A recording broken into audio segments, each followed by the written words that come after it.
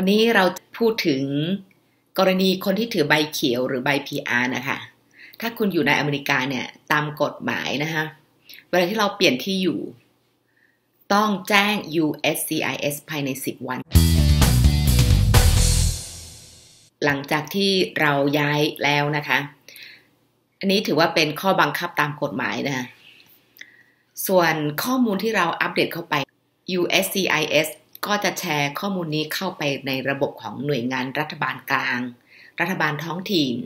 หน่วยงานต่างประเทศ และองค์กรที่ได้รับอนุญาตอื่นๆนะคะส่วนเวลาเราจะแจ้งที่อยู่แจ้งยังไงเนี่ยก็ให้เข้าไปเว็บไซต์ของ USCIS นะคะในส่วนของเปลี่ยนที่อยู่นะคะหรือตามเว็บไซต์นี้ค่ะ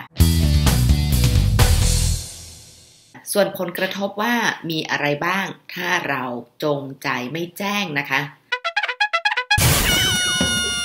เกิดว่าถูกตัดสินว่าผิดนะคะ อาจจะโดนปรับสูงสุด 200 เหรียญ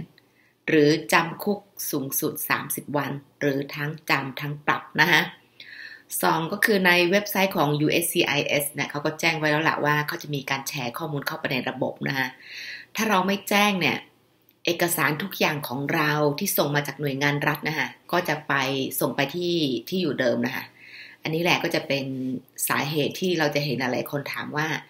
ทำไมเอกสารเนี่ยยังส่งไปที่อยู่เดิมนะคะไม่ส่งมาที่อยู่ใหม่นะคะเพราะเราไม่ได้ทำขั้นตอนนี้นะะจริงๆแล้วนะคะในส่วนนี้เนี่ยตอนที่เราได้รับใบเขียวค่ะ คู่มือก็จะมีบอกแล้วแหละว่าเราจะต้องแจ้งนะคะภายในสิบวัน หลายๆคนอาจจะลืมนะคะ หรืออาจจะไม่ได้ดูในรายละเอียดนะคะ ยังไงก็อย่าลืมนะคะ